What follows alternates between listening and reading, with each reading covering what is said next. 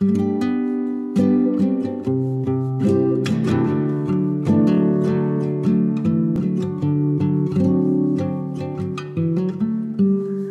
may be dreaming of reality. or I may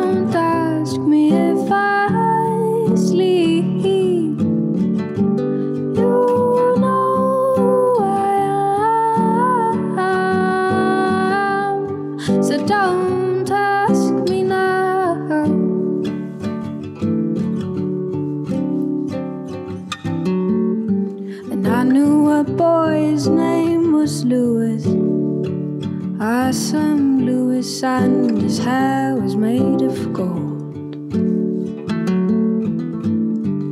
He was the sweetest, kindest boy to ever live.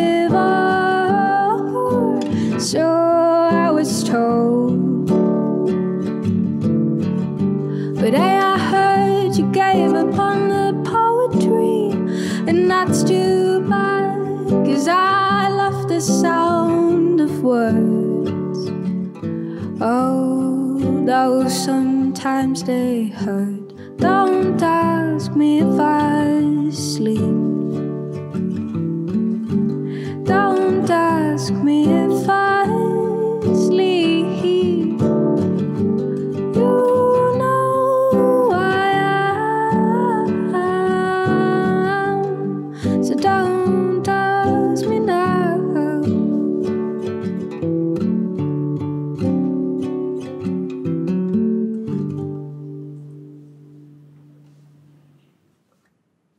Dankjewel, Mesker en Mees. Wat een prachtig nummer en wat een prachtige start van dit bijzondere troostmoment. Heel goedemorgen, beste kijkers. Hartelijk welkom. We gaan straks een speciale onthulling doen hier. En dat kunnen jullie live volgen, dus loop niet weg. We gaan samen een Vlaamse troostplek onthullen. Jullie zagen intussen al verschillende mooie beelden verschijnen op jullie scherm van andere troostplekken over heel Vlaanderen. Er zijn er intussen honderden verspreid uh, over heel Vlaanderen waar mensen hun verdriet kunnen leggen en waar ze hopelijk ook een beetje troost kunnen vinden. En al die plekken zijn verbonden met deze Vlaamse troostplek die we dus samen zullen onthullen zometeen.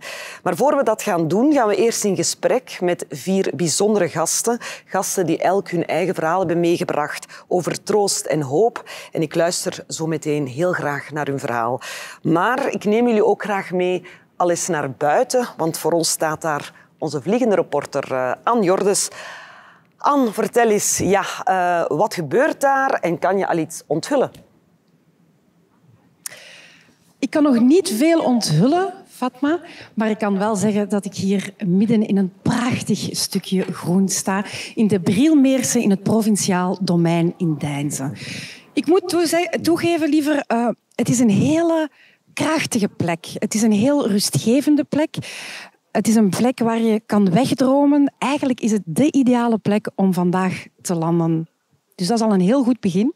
Naast mij staat ook Nick van Gool. Dat is de nationale voorzitter van het vrouwennetwerk FERM. En Nick, jij staat aan een heel bijzondere uh, plek, wou ik zeggen, maar eerder aan een bijzonder bord. Vertel eens, wat is dit bord? Dit is een troostpaneel waarop uh, woorden staan van hoop, van troost, van vertrouwen. Waar dat je ook info kan vinden over het kunstwerk, de sculptuur die we zo dadelijk gaan uh, openen. Mm -hmm. En tegelijkertijd beseffen we dat we vandaag ook op die 310 plekken in Vlaanderen dergelijke troostpanelen hebben. Met uh, een stuk poëzie waar dat mensen terecht kunnen.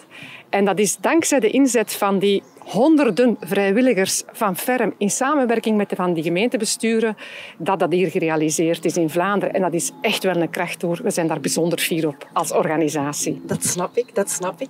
310 troostpanelen, zeg je. Maar daar horen natuurlijk ook 310 troostplekken bij.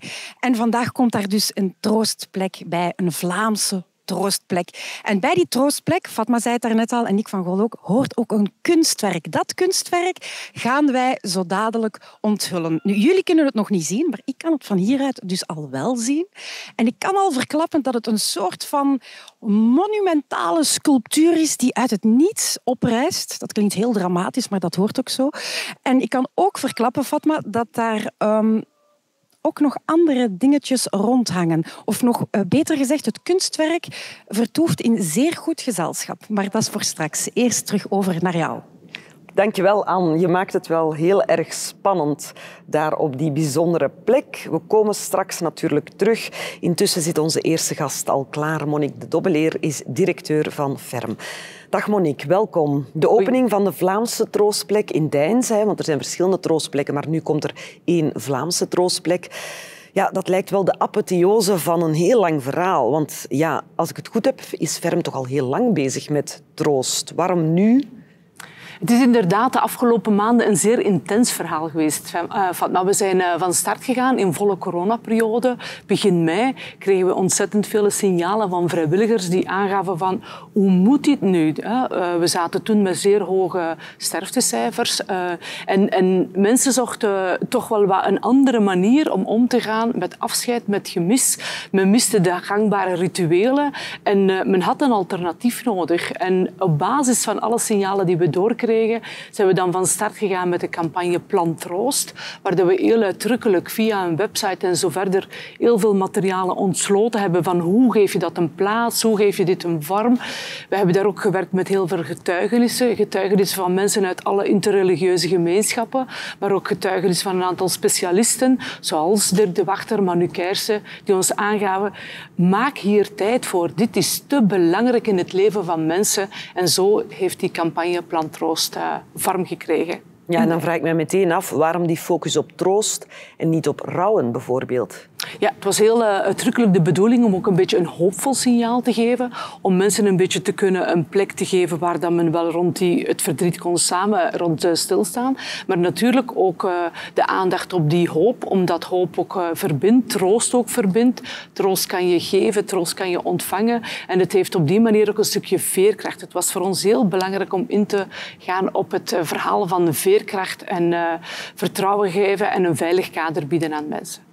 Ja, en die verbinding die probeer je ook te geven door eigenlijk uh, ja, fysieke troostplekken Was dat de bedoeling, dat mensen elkaar daar vinden in troost? Ja, we zijn uh, inderdaad die fysieke plekken gaan vormgeven. Dat zijn allemaal wat plaatsen in de natuur waar uh, een bankje staat, waar dat een uh, mooi gedicht aanwezig is. Maar ook plaatsen die we samen met de lokale vrijwilligers ook wel vormgegeven hebben, waar dat mensen dingen konden aan toevoegen natuurlijk. Ze zijn allemaal verschillend, ieder op zijn eigen manier wat ingericht. maar ja, plaatsen van stilte, plaatsen van ontmoeting, plaatsen van verbinding. En heel eerlijk, vinden de mensen vlot de weg naar die troostplekken? Want je kan natuurlijk ook stilte gaan zoeken in je tuin. Vinden mensen de weg naar die troostplekken? Wel, door het feit dat we er ondertussen meer dan 300 hebben. En als je dat een beetje vertaalt naar de kaart in Vlaanderen, dan zijn ze zeer dichtbij. En we merken ook dat uh, mensen ze ervaren als zeer dichtbij. Uh, mensen gaan ook vlot langs. We hebben ook de oproep gedaan om dan een bloembol te planten, om zelf ook een positief signaal eraan toe te voegen. We merken dat mensen dit doen. Uh, dit doen. En nu opnieuw uh, is men overal die bloembollen aan het plaatsen. Uh, ja, uh, doordat ze zo nabij zijn, uh, gaat men er snel naartoe. Er zijn ook wandelingen ondertussen ontwikkeld, fietstochten ontwikkeld. Er zijn scholen die er expliciet ook pakketten rond aangemaakt hebben om samen met jongeren er langs te gaan. Dus ze worden druk bezocht. Ja, en wij hebben samen nog die bloembollen geplant in de gietende regen. Hè. Herinnert mij uh, al een hele tijd geleden. En als je die nu allemaal ziet openbloeien, dat lijkt me wel heel mooi. Dus ik stel voor dat mensen er zeker eens langs gaan. Maar we kunnen nu ook al eens een kijkje gaan nemen via onze schermen uh, bij enkele van die troostplekken. Wij hebben hier een troostplek geopend aan onze pastorij. Pastorijlaan die hier grenst aan het uh, fietsroutenetwerk en uh, er zijn wandelroutes. Dus dat was een ideale plaats. Ik ben Corrie en uh, ik heb in oktober mijn man verloren. En ik kom dus regelmatig hier wandelend of fietsen naartoe. En dan kom ik even om te mijmeren en om terug te denken aan onze goede tijden.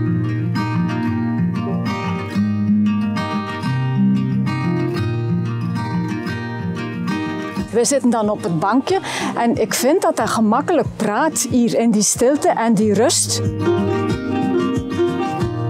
We doen dan ook de wandeling. We lezen de gedichten en je draagt er wel altijd iets mee naar huis.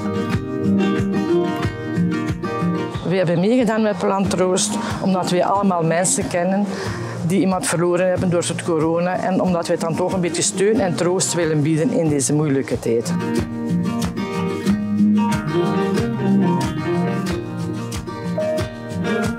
Wij van Wachtenbeke hebben hier ook een troostkastje met een troostboek. Het was een idee van eh, de therapeuten die ons ondersteunden. Er staan verschillende verhalen in van mensen die hier passeren, die hier langskomen. Anderen lezen ze. Het is ook een leuke reactie naar ons toe. Het inzicht dat ik kreeg in de zin van mijn leven. Voor de fouten die ik mocht maken, zeg ik dank u wel. Een simpel, welgemeend, eerlijk dank u wel.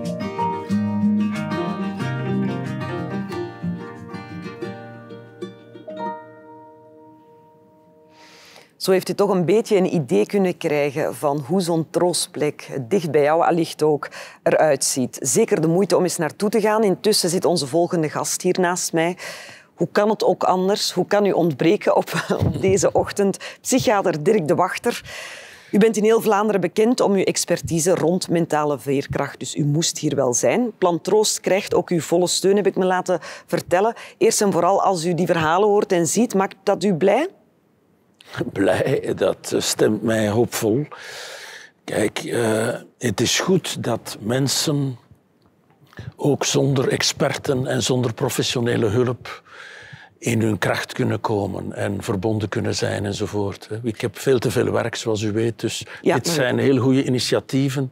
Ja, en, en, is het belangrijk dat dus die collectieve vorm van troost dat dat aanslaat, dat, allee, dat mensen dit zelf gaan zoeken? Wat betekent dat volgens jou? Wel, de verbinding, hè. dat is altijd de, de, mensen die elkaar kunnen ontmoeten, zelfs in deze coronatijd, met wat afstand, samen verbinden. En op plekken, ik denk dat rouw nood heeft ook aan fysieke plekken, aan heel concrete, duidelijk tastbare en herkenbare plekken. Over culturen heen ook. Hè. En het is heel mooi hoe dat die plekken heel verschillend zijn, maar toch een soort van gemeenschappelijk punt hebben, namelijk de natuur en de bodem en, en cirkelvormige dingen ook altijd. Er komen, je ziet dat in alle tijden, in alle culturen terugkomen.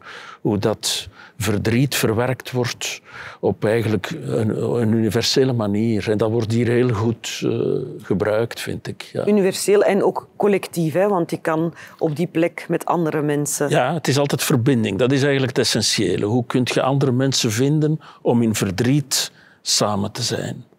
Dat wordt hier heel goed uh, gesymboliseerd, denk ik. Ja. En die rituelen zijn we natuurlijk een beetje kwijtgeraakt door de coronacrisis. Uh, Plantroos is een initiatief van Vrouwennetwerk Ferm. Is het belangrijk dat zo'n initiatieven van onderuit, vanuit de bevolking zelf... Dat is wezenlijk, ja. Het is interessant om te zien hoe de expert dan zogezegd, ikzelf, heel veel kan leren uit dit initiatief.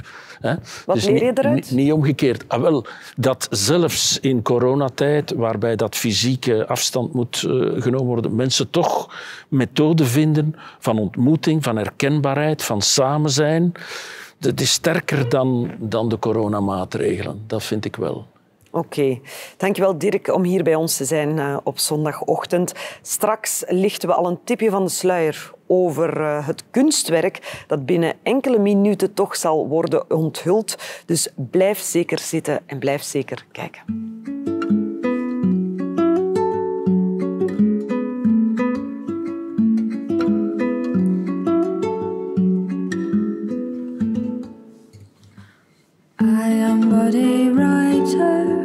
Have something to state. I'm not much of a fighter, though I love a good debate. And I can't be bothered to leave the house on any given day. For I am but a writer, and that's the writer's way.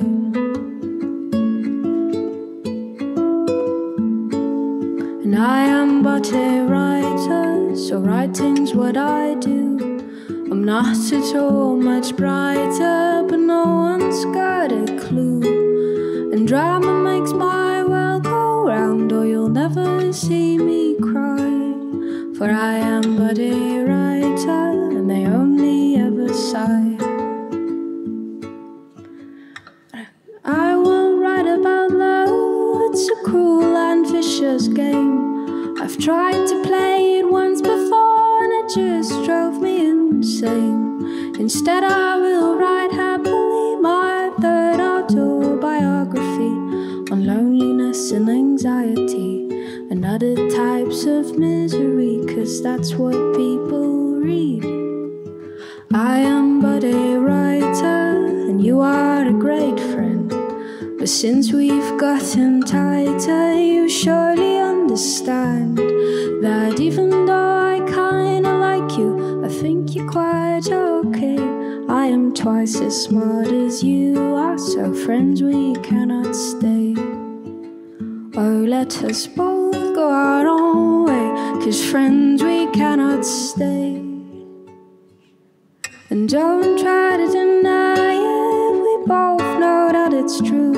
And I wish that I could help right now, but there ain't much I can do. So don't ever try to call me, but if you find the time, oh, just switch on your radio book of mine.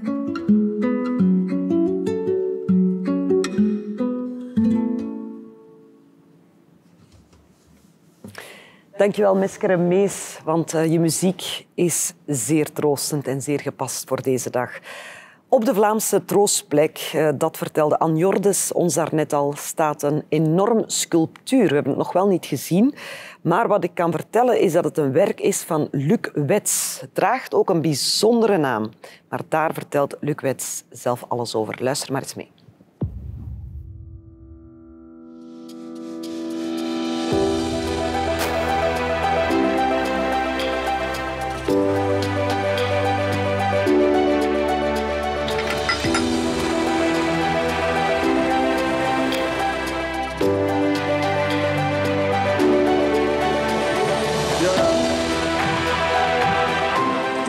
Ik ben Luc Wets, kunstenaar uit Heikruis, een Pajottenlandse kleine landelijke gemeente.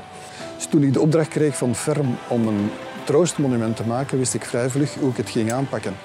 Een gebaar van omhelzing is voor mij een zeer krachtig gebaar van betrokkenheid tussen twee personen. Het wordt een nationale troostplek.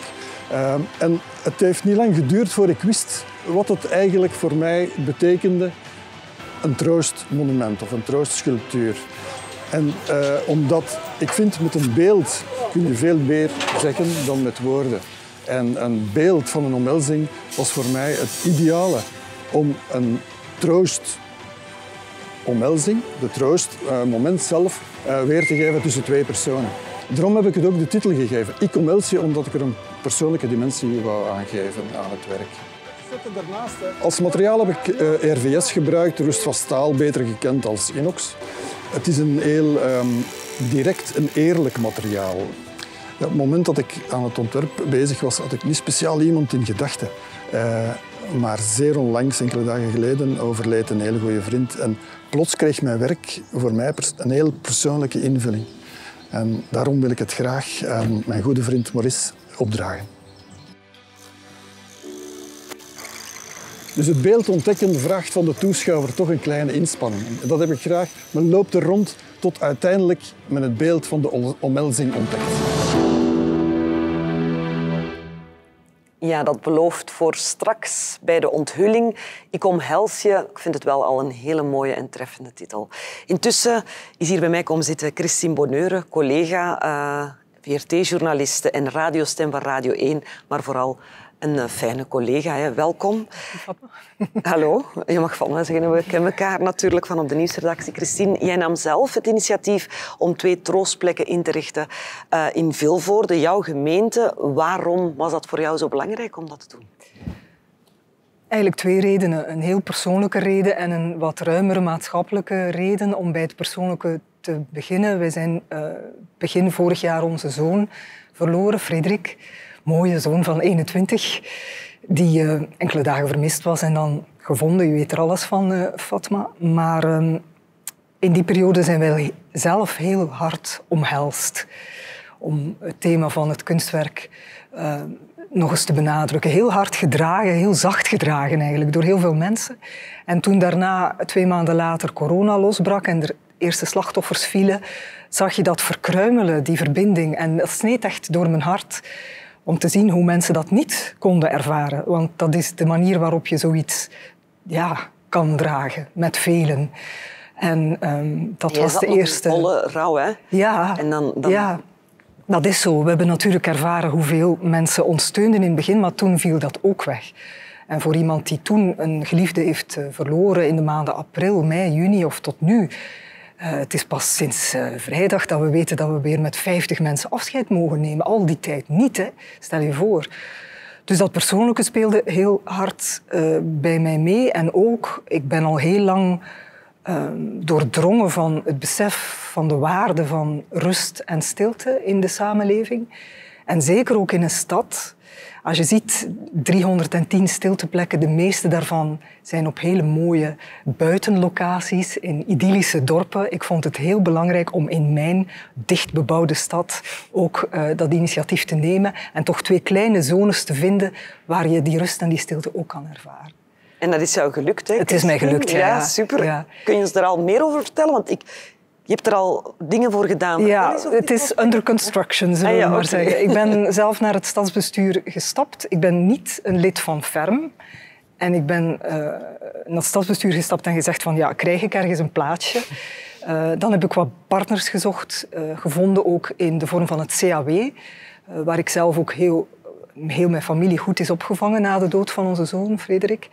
En ook met het ziekenhuis, als het Jan Portaals, en die waren ook meteen enthousiast, omdat eh, rust en stilte ook zowel voor patiënten als voor personeelsleden ontzettend belangrijk is. Ziekenhuis waar op het dieptepunt van de crisis echt eh, heel veel patiënten werden verzorgd, waar ook veel mensen helaas zijn overleden. Dus die partners samengebracht en dan um, ja, aanvraag ingediend. En drie dagen geleden zijn de borden geplant. We krijgen de primeur. Ja, ja Op twee locaties. En dan het uh, planten van bloembollen. En het openingsmoment met hopelijk toch enkele mensen die mogen samenkomen, dat is voor uh, september. Maar de zoektocht was eigenlijk vooral wat is een geschikte plek. Uh, de volstrekte rust en stilte die zijn er niet in een uh, stad. Dus we hebben plekken gezocht waar je dat contrast heel goed ziet. Mm -hmm. Met de hussel en bussel van de stad rondom. Um, de, stad, de, de, plek die het dichtste bij CAW ziekenhuis ligt en zo, ligt eigenlijk vlak naast een brug over het kanaal. Dus daar rijdt het verkeer voorbij.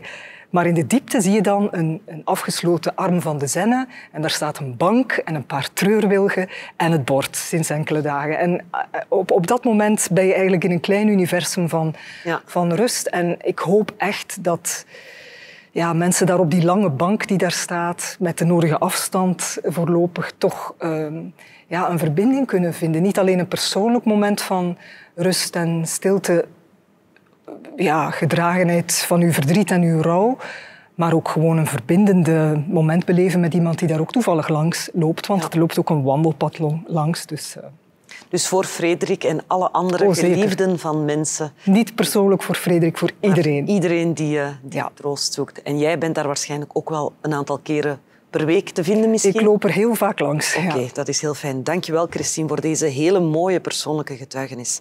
Wij gaan terug eens eh, naar buiten om polshoogte te nemen bij Anne Jordes. Anne, hoe is de sfeer daar? Is er al spanning in de lucht over de onthulling van die Vlaamse troostplek? Wel, het is hier vooral uh, bijzonder gezellig. En dat heeft alles te maken met de twee dames die bij mij staan. Namelijk de twee gedeputeerden van de provincie Oost-Vlaanderen.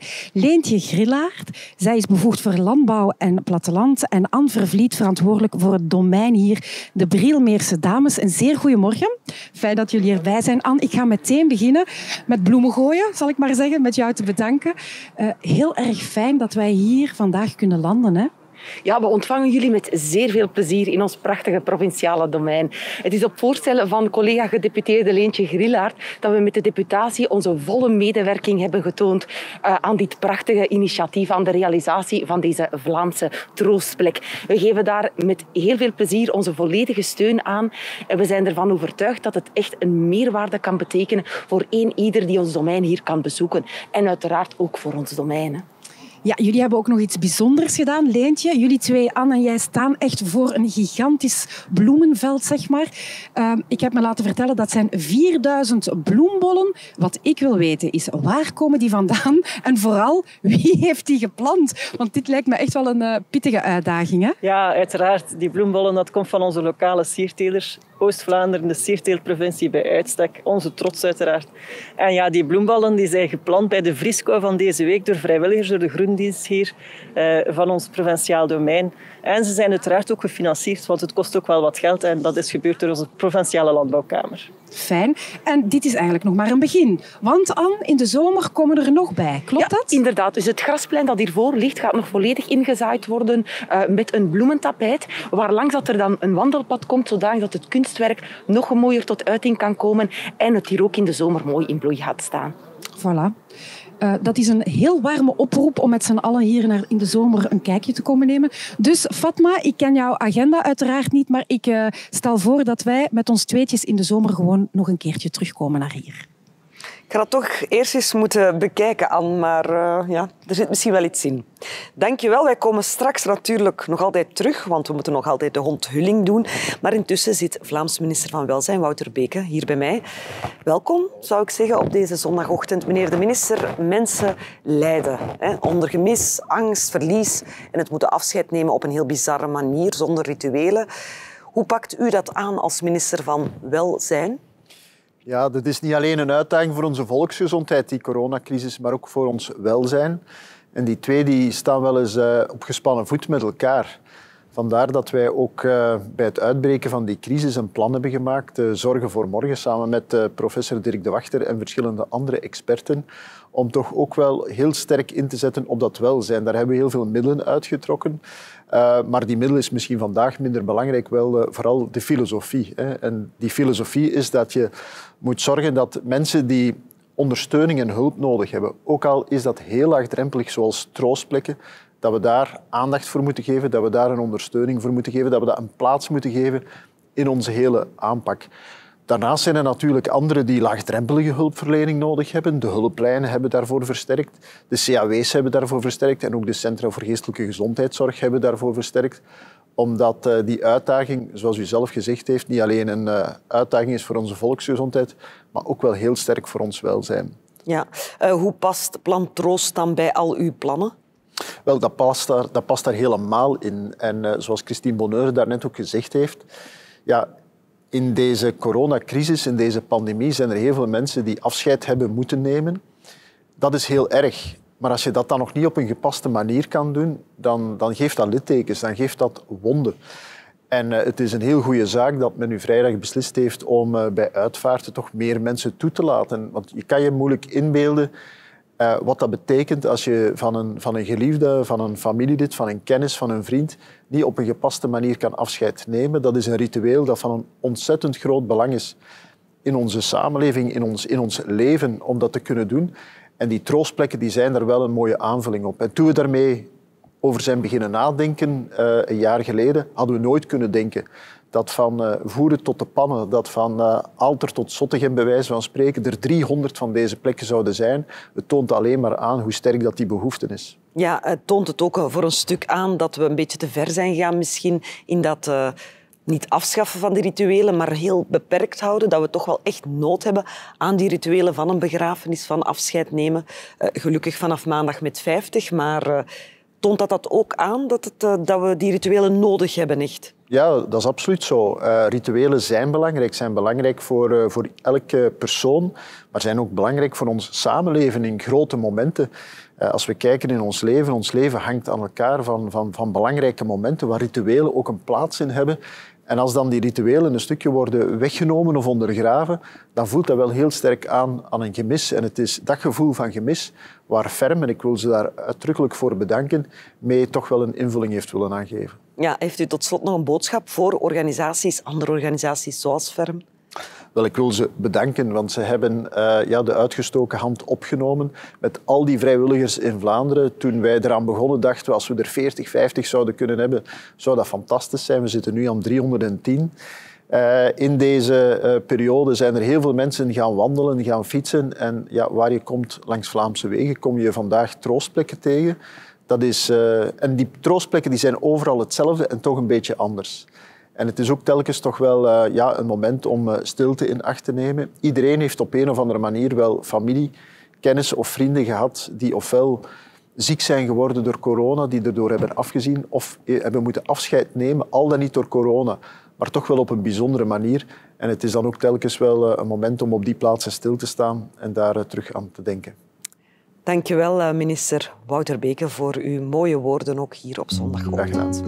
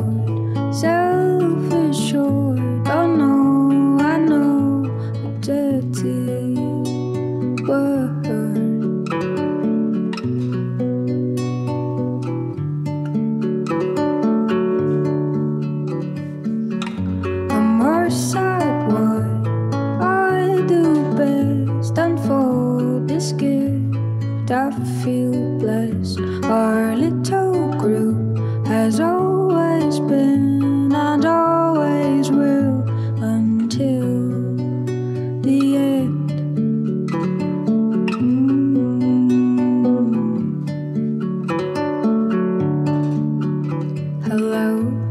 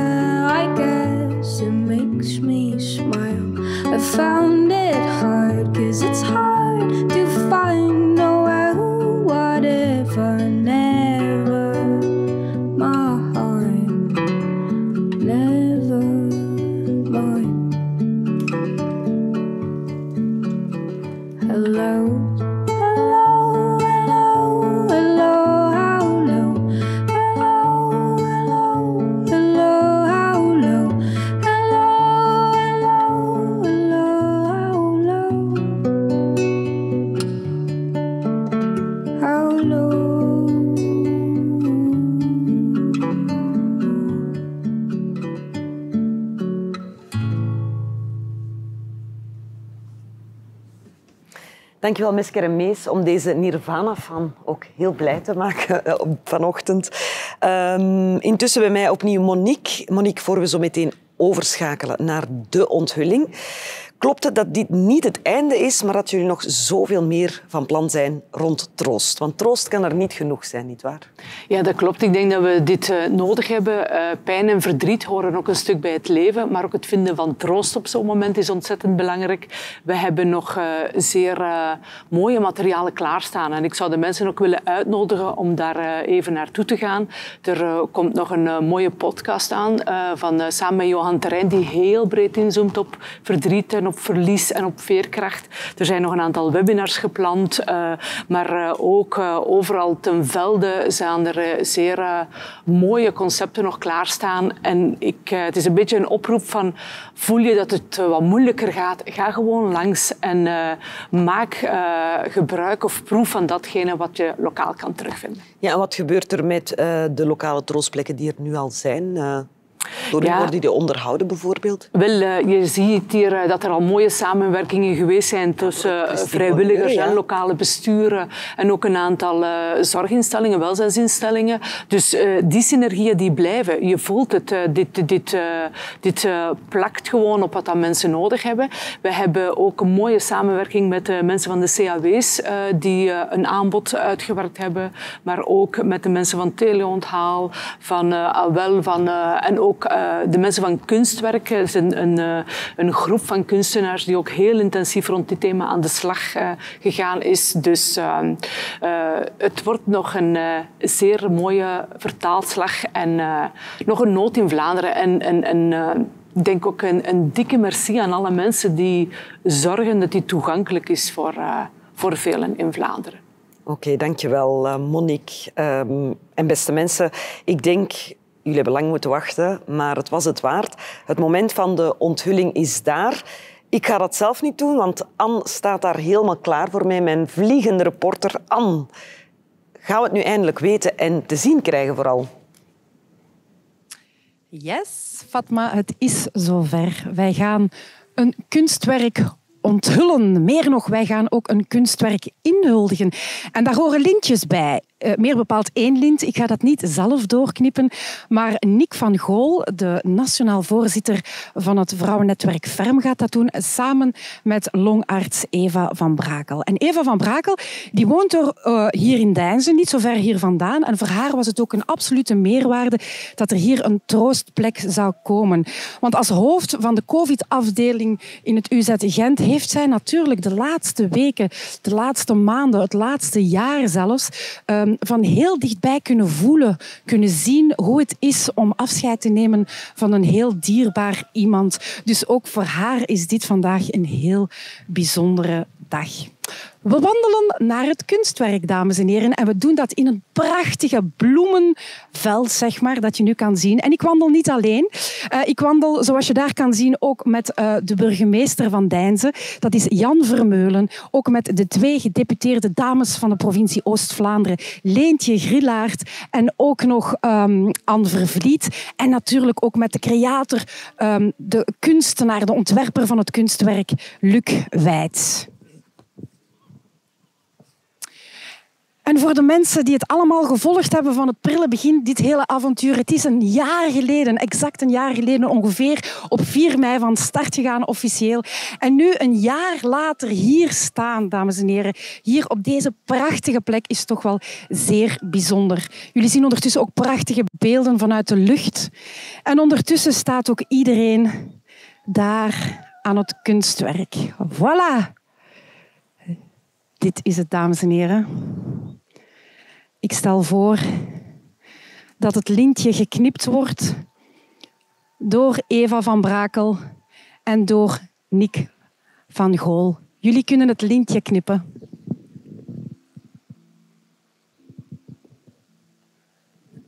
Ik denk dat iedereen nog zo verbouwereerd naar het kunstwerk aan het kijken is.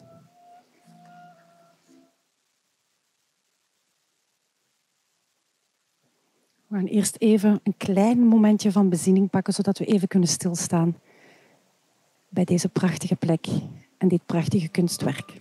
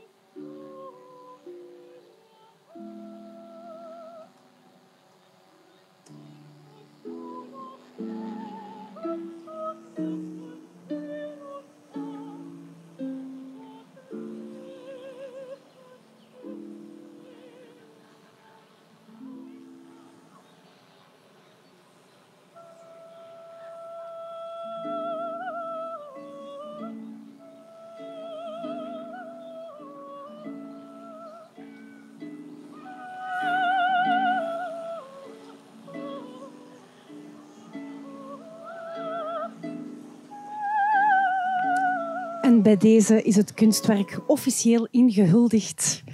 Ik omhels je.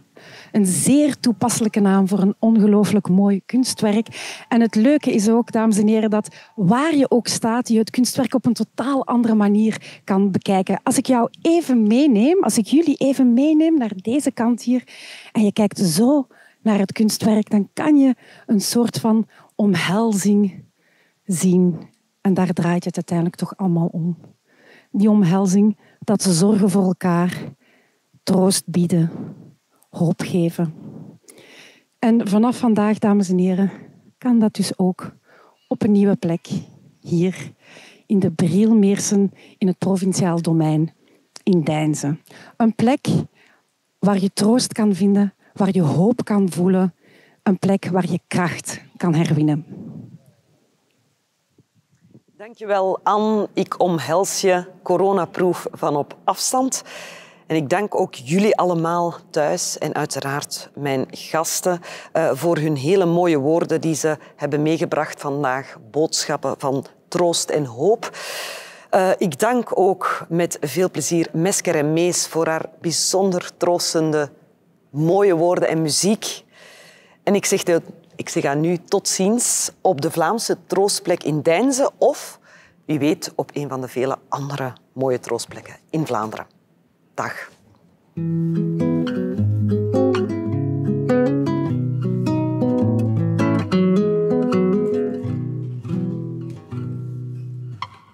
There was a man not long ago. He was nice and kind of slow. His long, his name was Joe. Was young and he was sweet, and my heart would skip a beat every time that we would